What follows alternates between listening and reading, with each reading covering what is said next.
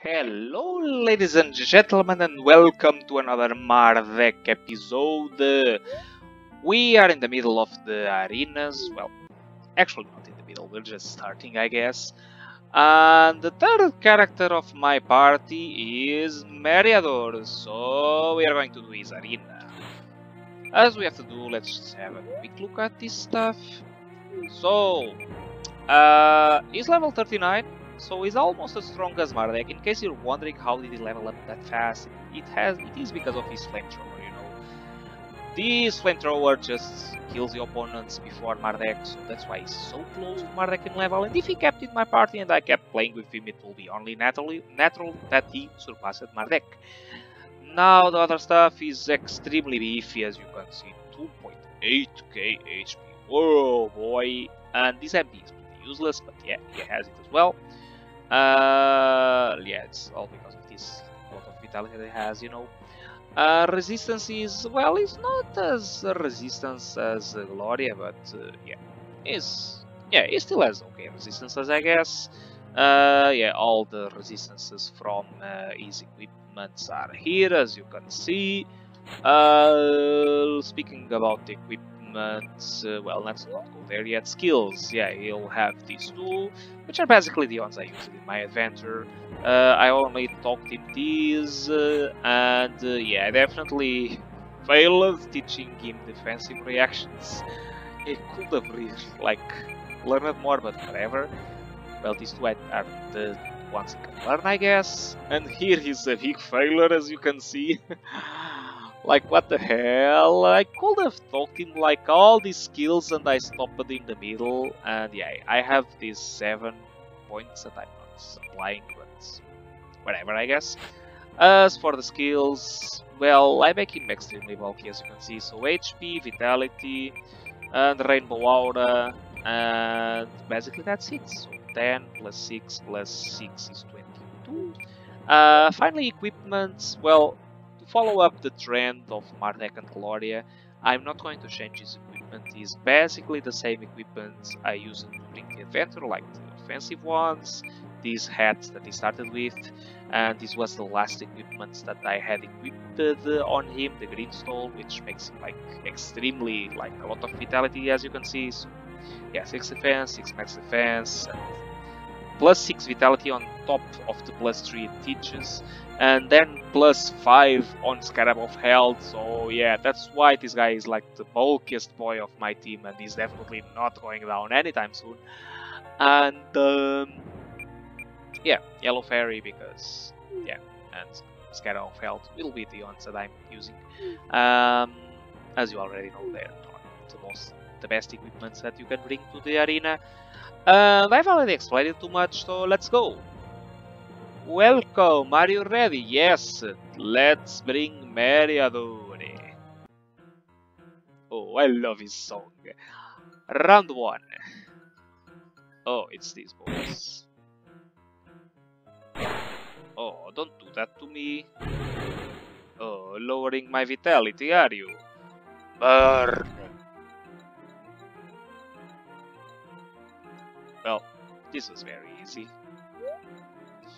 We got some zombie nests, which is very useful. Round 2! Oh, some bats. And they're trying to poison. Oh no! Did you seriously inflicted the only status that I didn't want you to inflict? Which was numb. Uh, well, doesn't matter. We can just use this. That's why you bring items to these like type of fights and just flame them. Yeah. Very easy. Now round three. Uh, more poisoning boys. Can you dodge them all? Whoa! Oh no. that will be too good. I think poison doesn't really matter because I regenerate more, so... Let's just flame them. Ah, righty boy. Good work. Uh, round 4. We have Fire Elemental and the Earth Elemental. Let's use fire and kill the lower one. well, we probably absorb fire. Let me see if I can just use this. I can. I think it doesn't matter if he hits me because I absorb fire, right? Right. So, drill. Nice. Good work, Meraeador. Uh, round 5. Oh, this is gonna be very easy. Uh, we just flame them. Ah, Aha! Nice. Get a Nectoplasm round 6. We have these bearded boys and uh, these guys. Spirit Nova will probably be a mess. Yeah, I don't resist either that much. Yeah, but I think we're fine. So let's do this. Crap, flamethrower is just an overkill here. And uh, round 7. I got a Naxolotl Sheaf. This guy probably resists fire. Oh! No, it doesn't. Then... Oh, it's not enough. No problem. I water you, and then uh, I flame you again. Ah. You will think that this guy resists fire, but no, he resists water. Makes sense, I guess. Or maybe not. Maybe he could resist both. Round 8. Uh, we have some blue souls and another Aeronaut. Yeah, these souls, just like the other ones, have a slight weakness against fire, so despite being blue, yeah, they're dead. Um, yeah, let's not give this guy a chance, we just beat him right away. Yeah, this is being like as easy as the Mardek and the Gloria um, arena. Yeah, now three of these guys. Yeah. Oh, look at me, I'm so strong, I thunder you. Yeah, right. Fire! Yeah, flamethrower MVP. Just like the battles in the wilds. MVP. Round 10, you have a Molesto. Oh, that was quite a lot actually. Uh, yeah, I don't have a lot of dark resistance. Makes sense, I guess. Uh, what are you weak against again? You're weak against everything actually. Let's use the flamethrower. and let's use it again. And that's it.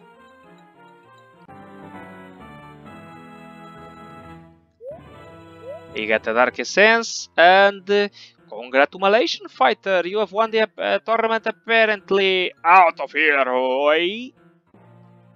Alright, nice. Uh, now let's remove the green thing out of Meraeador. I kinda, you know, I kinda feel sad for him.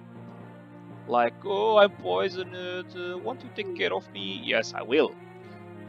Now, unlike the other characters, Meraeador doesn't really learn any skill from this, and I will say that this is actually pretty crappy, like 3 spirits, 3 vitality. Eh.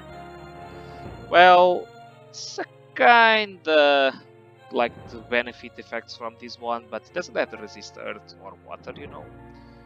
Well, it resists fire and water a little bit, yeah. And it gives like four. Eh, it's a Meraeador unique equipment, but yeah, it's the one that they gave. I think it's nice. I guess. I guess. Uh, it's a prize anyway. It's a trophy, and we got that trophy, which is nice. Just like Gloria got her trophy as well, which is nice as well. And uh, Mardek got his M uh, Charm as well. So, uh, just like we did previously, let's talk with Meraeador and learn about his uh, story, shall we? So, Meraeador. Oh, okay. I'm not going to do his voice like uh, you know the one uh, where he just uh, he has hiccups when he talks. You know, yeah. Um.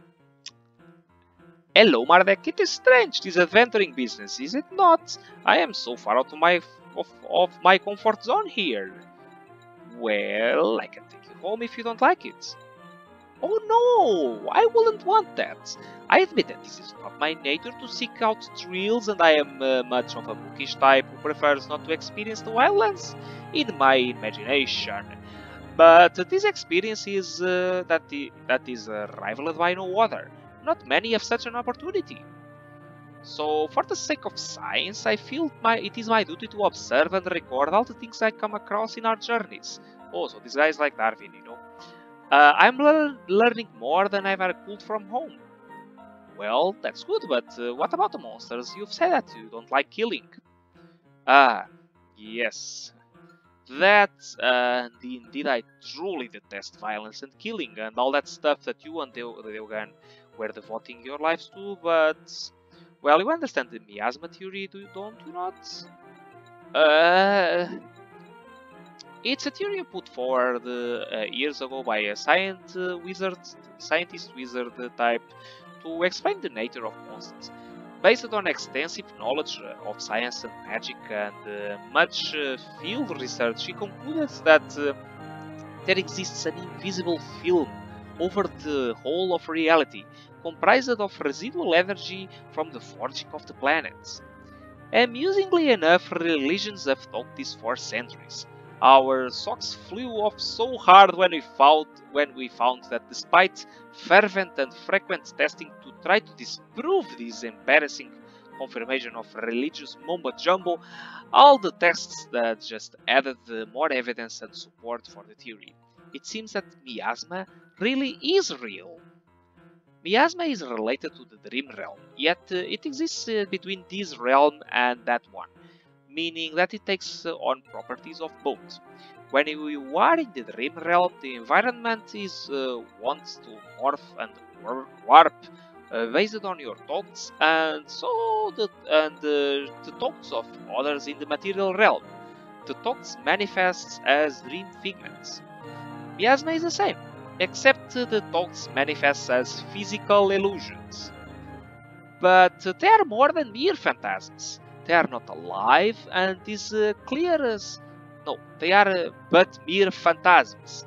They are not alive and this clears up many moral quandaries uh, of my pacifist mind. Pacifici. Uh, I fear and hate the idea of killing innocent uh, living creatures, but monsters that are not alive and uh, uh, monsters are not alive and they are evil. I take no pleasure in the act of slaying them, and I fear it is always I have, I, and uh, I fear it as I always have. But uh, I have been practicing fighting them uh, because I feel that is doing a kindness to the world. So that's that. That's why I'm a pa pacifist and I can slay monsters uh, with my inventions designed for that specific purpose. But doesn't pacifist means uh, mean uh, one who hates violence, and violence doesn't depend on whether the target is living or dead. This is no time to get mysteriously clever, Mardek. The, those are mere pedantics uh, anyway. I stand by, by what I said. Now, off we go once more. Okay, we learned... Uh, actually, we learned quite a lot in this dialogue. We learned that monsters are not real. I think... Well, actually, I think was quite a long while ago, but I think that there's a book about that somewhere. Uh, well, doesn't matter. Um, but yeah, it's a good thing that we learned that from uh, Meraeador, and we now know that he's a pacifist. So Meraeador is like, uh, woo, peace and love, uh, spread the love. Uh, let's talk about more uh, with Meraeador. Uh, I was just thinking about how you were but a child, Mardek, so long ago, yet it feels like just two or three years ago, or however long it's been since the last chapter was released. Uh, supposedly this chapter was released in 2010, and the other one three years ago. Uh, yeah, it feels like two or three years ago. Yeah, exactly. The time span between the chapters. uh, but yeah, supposedly the story, like it was a lot of years, like 8 years or 10 years actually, or 11, I don't really know. Uh, you have been a good friend to me all these years. You and the Deugan were my only friends in many ways for many years. I thank you for keeping up with my madness, Though I miss Deugan as, um, almost as much as you do. Well, I do miss him quite a lot. I know you do. I wish he could be with us now. But uh, it is best not to dwell, or uh, now it's not the time at any rate. As I was saying, I used to be respected by other villagers back in the beginning. I was encouraged by my parents and other villagers to continue inventing, and they were eager to know uh, how I could help Goznor with my science. But then, the accident, that horrible, fateful day, my invention, it went so wrong and my parents, they didn't make it. I killed them with my science. I, I've never got over that. Oh, this is so sad. So Gloria has like a very sad person, so does this guy. But yeah, that's what I love in these games, the dialogue. Ah, yeah. The others, they hated me, they shunned me, they thought that I would kill them too. With my inventions, I was ostracized. Nobody will, my, will be my friend anymore, except you two kind young boys. Ah, yeah, everyone used to talk about the weird, evil madman who lived on the edge of the town. We talked would be some, uh, would be some mad old scientist with a grey beard and a white lab coat making monsters or something. But me and Deugan thought we were just lonely, not evil, and uh, thought I'd be uh, it thought it would be an adventure to try and see what you looked like, and whether you were as mad as uh, people say said. And yeah, I am quite mad as that. Well, maybe. well, I suppose I am a bit. Uh, ever since the, that incident, I have vowed to never take another life again, except uh, I consider taking my own actually. Oh, this is extremely sad. No, Meraeador, you are nice. You are a nice boy. Please don't do that. Everyone hated me. I'd killed. I, I would have killed. I killed my parents. Why not? It seemed the only logical thing to do. I have never properly thanked you for saving me from all that, Mardek. You were always too young, but uh, you were always too young. But now look at you a noble knight fighting for what is right. I am glad to have known you. I truly am. Yay! And uh, on another note, we have more adventuring to do. No, Meraeador, we have more talking to do. So let's talk. Uh, Mardek, can we have a private little chat quietly so nobody else can hear? Uh, okay, what is it? It's embarrassing to mention this, but Gloria, that young shaman, she is beautiful. I do think that she noticed me. Has she been looking or anything? Uh, well, let's pretend that these guys are alone and that she's not in the middle of them, I guess. that would be rather weird to be talking about Gloria, like with Gloria in the middle of them. Yeah. Yeah, she's totally into you. What? Are they being serious? Well, haven't seen haven't you seen the way she blushes and stumbles over words around you? I think she's got a thing for you. Oh my! And yet I am fearful of uh, pursuing this matter. I am much older than she is, you see. She's 16, isn't she? A mere child in many ways, yet I'm almost almost twice her age. I do not, do not wish to be an old fool and stifle her, her youth, I I only want what's best for her. I do I do not think that I am it. Well, I think she loves you, and that age is meaningless when it comes to love. you are great, Mardek. Crap, I love this game. And I love Mardek so much. So, you think it will be okay for a 10 year old to fall in love with an elderly grandmother? Yay! Uh, then perhaps you are not most sensibly here to inflict this issue upon right now. I will move all over these thoughts. For now, I'll keep things as they are. Oh, uh, no, no, no, no, you shouldn't. Uh, Meraeador is a lesson for you, and uh, for you shy boys over there, like this, this video. If you like someone, you really should tell him. Like, uh, even if it's like, you know, even if you feel like embarrassing yourself, just do it, what the hell. Like, all the anxiety you're feeling before telling that all will be gone will be gone when you tell your crush that you like that person, that you love that, that person. Use the words I love you. What is wrong about that? Uh, well, that might come out too strong. Just don't go there and say I love you.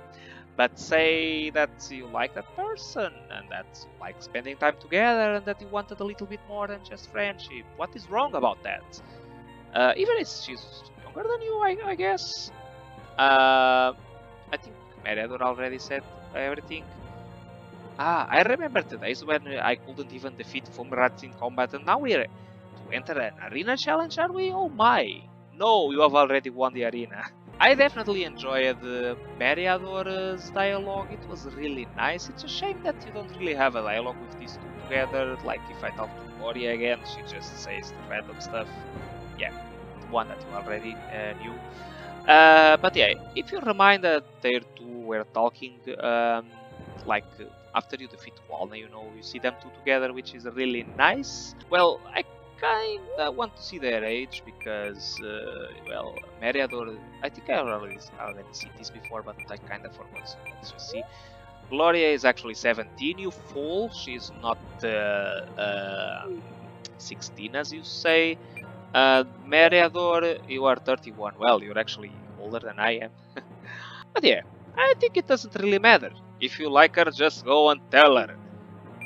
Both you, Meraeador, and both you, the viewer. But yeah, this is not a help. Like in that Matter channel, there are like channels that where you can learn that stuff. This is just yeah, just a random thought about my own life. Oh, about your favorite caster, game magician. Yeah, I'm getting ahead of myself. Uh, I hope you are enjoying these uh, episodes where we do the arenas. Uh, we'll keep doing that for the other chapters. Uh, the next one will be obviously Legion, and our party will be on. Then we'll have to do the other ones. And yeah, that will be all for this one, ladies, ladies and gentlemen. If you like this type of content, make sure to hit that like button and subscribe if you want to see more. So thank you so much for watching, and I'll see you around for the next one. Bye bye.